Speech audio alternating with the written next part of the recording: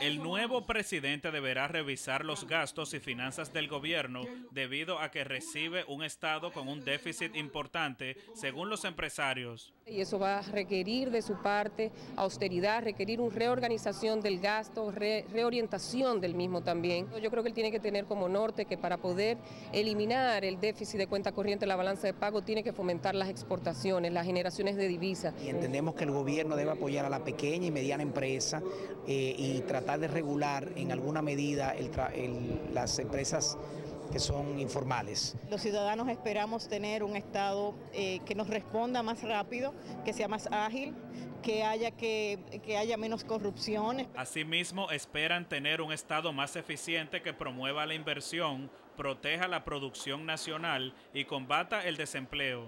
Tenemos que mejorar la creación de empleo para que eh, realmente podamos mejorar los niveles de vida de nuestra población. Que los empleos formales de nuestro país han decrecido.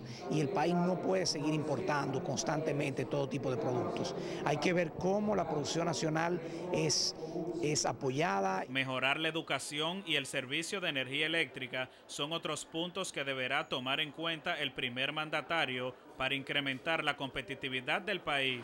Empresarios e industriales pidieron a Danilo Medina cumplir con las iniciativas económicas anunciadas en su plan de gobierno. Paul Pimentel Blanco, Noticias SIN.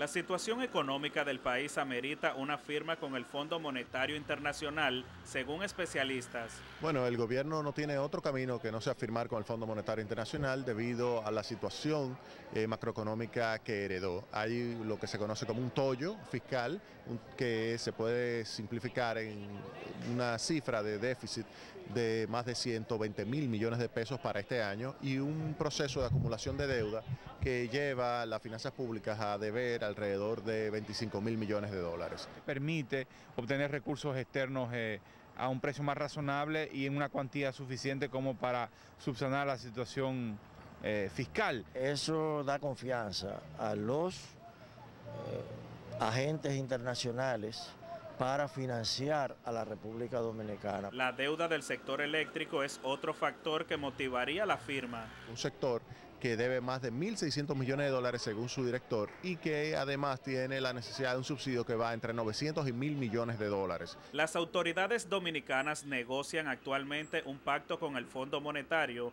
que tiene previsto concretizarse en 30 días, lo que tendrá su impacto en la población.